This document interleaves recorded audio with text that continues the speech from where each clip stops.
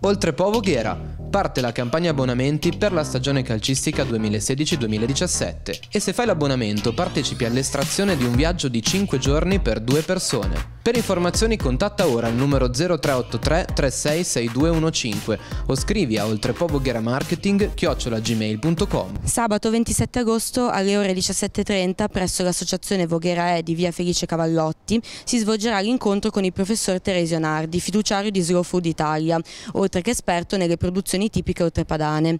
Siamo qui oggi proprio con il professor Nardi. Buongiorno professore. Buongiorno. Da cosa nasce questo incontro? l'incontro nasce perché Voghera mi ha chiesto di, di intervenire nell'ambito delle sue attività e visto che siamo in prossimità del Salone del Gusto di Torino ho pensato di presentare l'evento.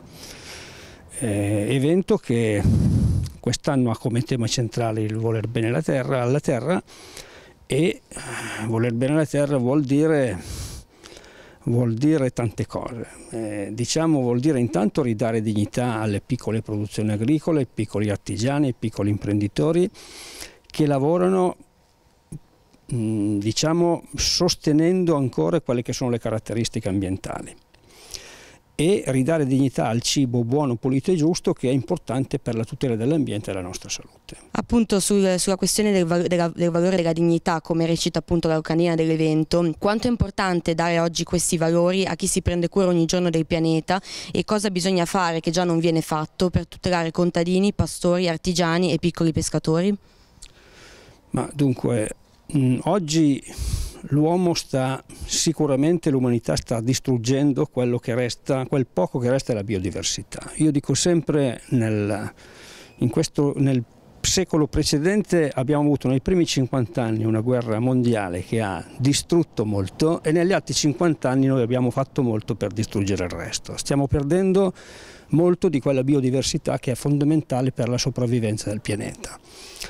Ora, valorizzare la piccola agricoltura vuol dire oggi fare tanto per i territori collinari che rappresentano l'80% del territorio italiano. Una collina che stiamo perdendo, una collina dove ancora oggi si produce tanto e potrebbe produrre molto di più e potrebbe anche dare posti di lavoro, producendo in modo pulito, sostenibile per l'ambiente e per la salute di tutti. Noi pensiamo alla nostra Valle Staffora, tanti terreni incolti,